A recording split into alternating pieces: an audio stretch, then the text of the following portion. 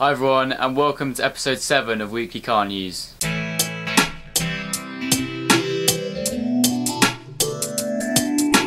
Just to start this episode off I'm just going to talk to you about the Le Mans 24 hour endurance race. Um, now as I'm filming this which is uh, at 3 o'clock on Saturday afternoon the race has just started. Um, I don't know any of the timings or anything at the moment but yeah there's been a load of supercars that have gone down there including quite a lot of P1s I think four or three, something like that, went down, and now they're down there for the for the race, having it, just looking and stuff. Yeah. But yeah, seeing as this video goes up midday Saturday, and I'll be finished recording this in about half an hour or so, um, then I won't know who won. So next week I will show you guys, if you don't already know, the uh, the results. Moving on to some more Le Mans news now. Now, as you can see up there, Ford are going to have released that they are going to be re-entering the Le Mans next year with the new Ford GT. Um, looks awesome. Have you seen the rear diffuser? Look, look at that, it's huge. It's massive. This car's literally only just been revealed, so there's no performance stats or anything, so I guess that'll be in a future video. So moving on now, now as you can see up there, that is a test mule for the new Chiron, which is the replacement of the Veyron. Um, as you can see, it's got some a few touches that are different, such as a bigger exhaust by the looks of it, and also some like vents on the rear quarter or something. Um, only slight differences, but then again, they're probably only just starting testing. Now, it was seen on the Autobahn um, cruising with a, an i8, which is unusual, um, but maybe that's kind of the thing that they have a look at all the stats or something, I don't really know. But um, as you can see, it's obvious that they're obviously working on something, seeing as they've sold out of all the 450 Veyrons or whatever it is. What you can also tell from the photo up there is that it also, it kind of looks like a super sport. So it's almost like the the, the entry level Chiron or whatever it's called. Uh, is that how you say it? Chiron um, is a super sport. So it shows that the say the the version of the super sport for the Chiron is obviously going to be mentally quick because the the top of the Veyron was the super sport.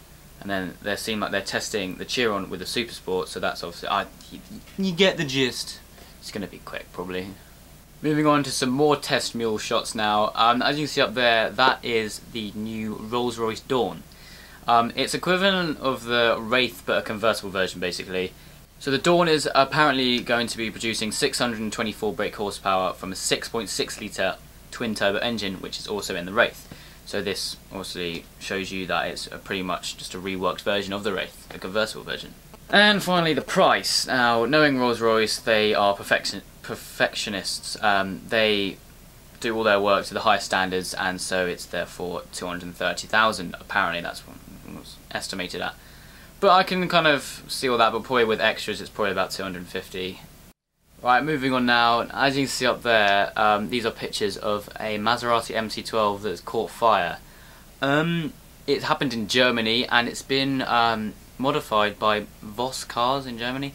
Um, so it the cause of the fire is unknown as yet, but it could be to do with some sort of modification or just because it has the Enzo engine in and quite a few Enzos have kind of caught fire, kind of.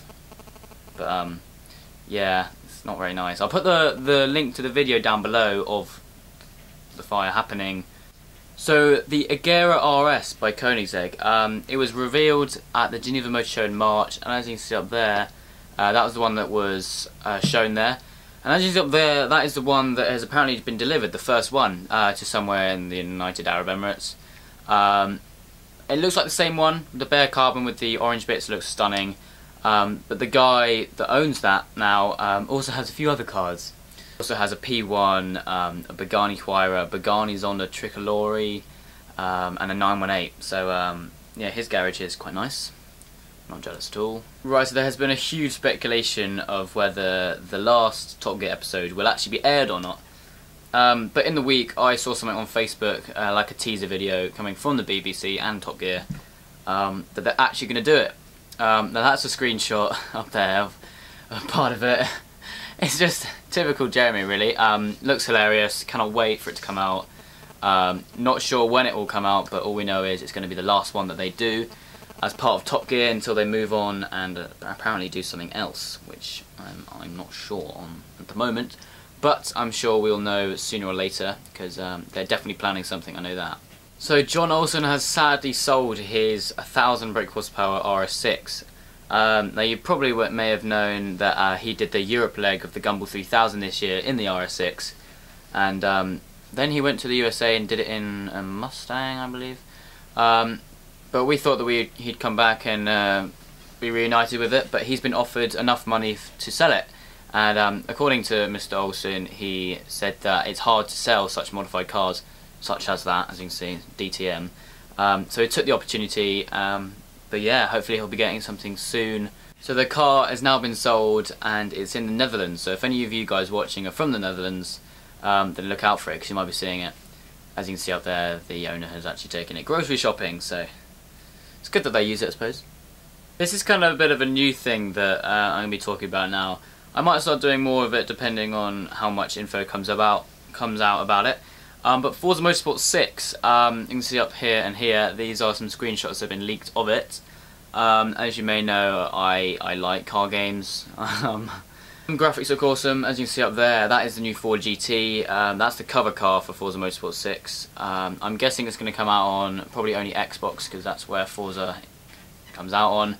Probably not on the 360, seeing as Forza Motorsport 5 didn't. but in general, the game looks stunning and when I hear more information about it I'll be putting one in this one of these videos. I'm just going to briefly talk to you guys about some new Arab arrivals. Um, now this first one I'm going to talk about isn't in London, uh, it's in Paris at the moment, um, but reportedly it's going to be coming to London soon. Um, it's a purple McLaren P1 from Oman.